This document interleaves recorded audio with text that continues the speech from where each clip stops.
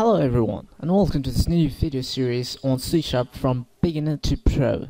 And in this video series this will be the first section that we'll be learning about. So why choose a new language when you have tons of languages out there in the market from Java to Rails from PHP to and everything else? But C Sharp is unique C Sharp can be used to create diverse Windows application and software that can be run as a component in any other platforms.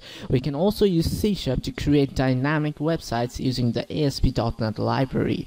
And obviously these websites are used by GoDaddy.com, Skype.com, NewYorkTimes.com, Telegraph.co.uk and Microsoft.com. C Sharp, by the way, solves many, many of its problems faced by other object-oriented programming languages like Java. It removes the complexities of multiple inheritance macros and virtual base classes that are quite a drawback for Java in these days. But C Sharp is quite simple, modern and easy to use. And the last thing is that it has a rich library, it has a rich .NET framework created by Microsoft that is completely free. It can be used to uh, create routines for file handling, multitasking, manipulating XML, and many more exciting stuff, and all this for free. Now, we were talking about object-oriented programming languages. Object-oriented programming languages have four features in common. The first feature that we are going to talk about is encapsulation. Encapsulation is just like packaging your similar stuff into a single box. Suppose you want to package all your books, all your programming books into a single package, into a single box, then you go on putting all those books into that single box. This is the same way that codes are packaged inside our programs. Codes are packaged inside our programs to protect them from outside security or possible security threats. The next thing that is inheritance. Inheritance is the way that we gain traits from traits from our parents from uh, and our children they gain traits from us like I have black hair as like my parents. So inheritance is the way existing codes are expanded to create new functionalities without anyway manipulating the previous codes.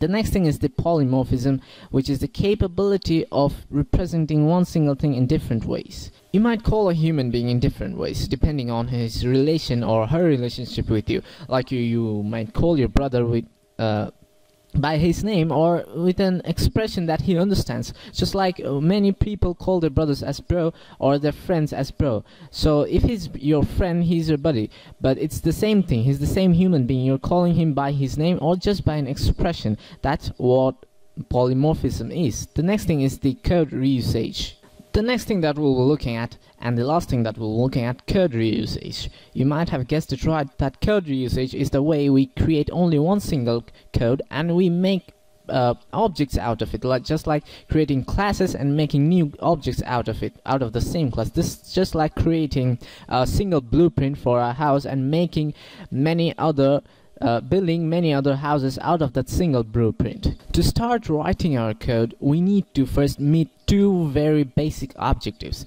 to set up our system and to make our codes understandable. The first thing that we need is to have an editor you might choose uh, Sharp Develop, which is an open source that I'll be showing you how to download and install. You might also choose Microsoft's Visual Studio. That's also the very best ones out there in the market, but that's, I think, very expensive. And obviously the free .NET Framework library from Microsoft. These two things needs to be installed on your computer, on your system, so that we can start writing our codes. So let's just now start by downloading them and then I'll show you how to install all of this.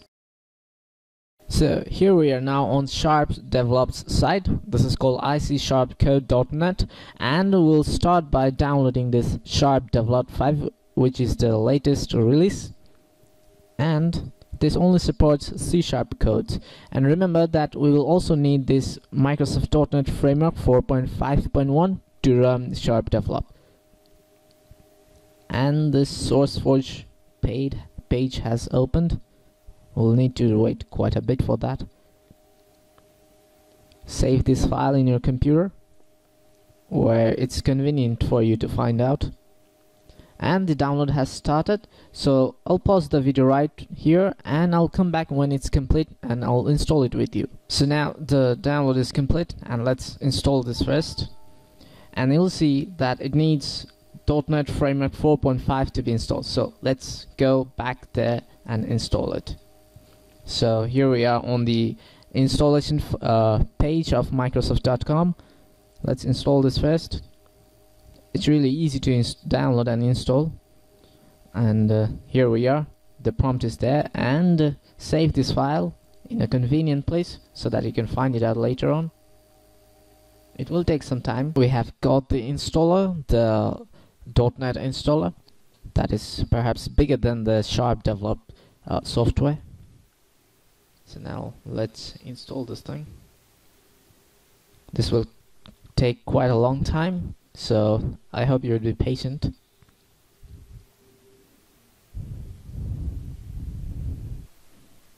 So you'd see this beautifully crafted Microsoft.NET logo. This takes quite a bit of time though. For those of you who are impatient, it would be wise to know that uh, if you're really a programmer who knew about all this object-oriented stuff, you can actually skip this. This is really easy to install, but those of you who are new to this, to this entire programming world, then I hope you'd be patient with me. We have this open, the Windows open now, and so select this license agreement, click install, and this will slowly install your uh, files, but it will also download something that are necessary uh, by the Windows installer all of these things take quite a few bit of time. When you have completed your .NET Framework installation, you'll find a window that says 4.5.1 has been installed successfully. So now let's click finish and for the reason of this we'll have to restart your computer. So it would be better if you restart your computer and install sharp develop so now we have a fresh new session after our restart is over. And locate the folder where you have kept your sharp develop develop installer. And click on it. It will appear without any error messages. We had faced an error before we installed the .NET framework. So you won't find any sort of errors right now so click next accept the license agreement click next again and browse for the location where you want to keep your new installed newly installed uh, sharp develop I'll be creating a new folder for this.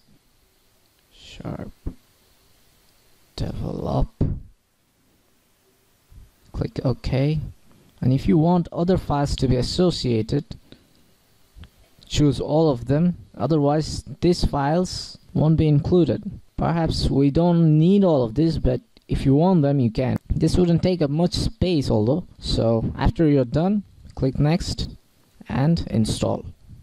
This wouldn't take much time. My install here is almost complete but sharp develop will ask you to learn about some of the dependencies which are small softwares that you may require later so click finish and they'll prompt you to a new browser window so this browser window has some recommendations for you if you want to run Microsoft F Sharp or other sorts of uh, softwares. You'll need to download all of this, but we don't need them right now.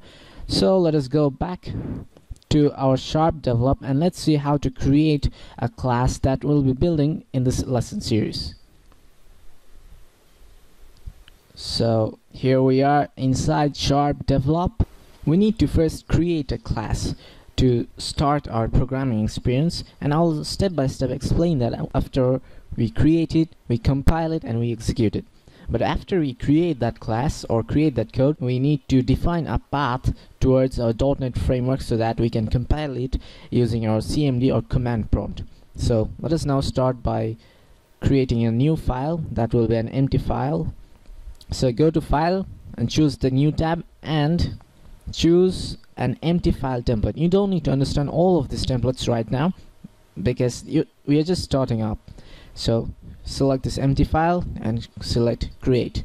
We don't need all of these commands so delete them and we'll be using .NET system variables. And now we shall be creating a class called uh, first class. You can name anything. You can even name your classes using your name. And the code block for the class will start by curly braces. So the first curly brace and the last curly brace. Try to organize your code as uh, as much as possible and try to add more commands as you can. Because these commands will help you later on when you revisit those codes or when your fellow programmers revisit them. So we'll have a method called that will be public and at the same time static. This won't return any sort of value. It will just be a main method with no parameters. And the method which is also a function we'll be discussing about this in the next section of this video series. This will have a code block and this will produce this will produce a sys a system message. This will produce a simple message. Console write line.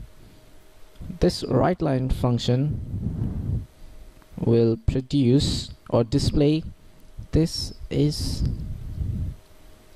my first class in this video. This will produce this message on the screen. So let us now save this. Save this as message1 class.cs don't forget to add this .cs extension at the end of your file name and save this. Okay okay now this is now saved. Now we can't run this from our sharp develop because sharp develop expects us to create solutions which are full-fledged projects. And those projects need to have all sorts of classes structs interfaces and namespaces. We don't understand all of this right now. So we just need to run this class by itself. So what can we do? We first need to locate our .NET frameworks .csc or the compiler. To locate our compiler go to start and open up computer. Go to your local disk and find this windows folder. Then locate microsoft.net and you'll also see a framework folder inside this microsoft uh, .net folder. Click on it. We'll be using the latest version 4.0 and now let's copy this path click on it and click Ctrl C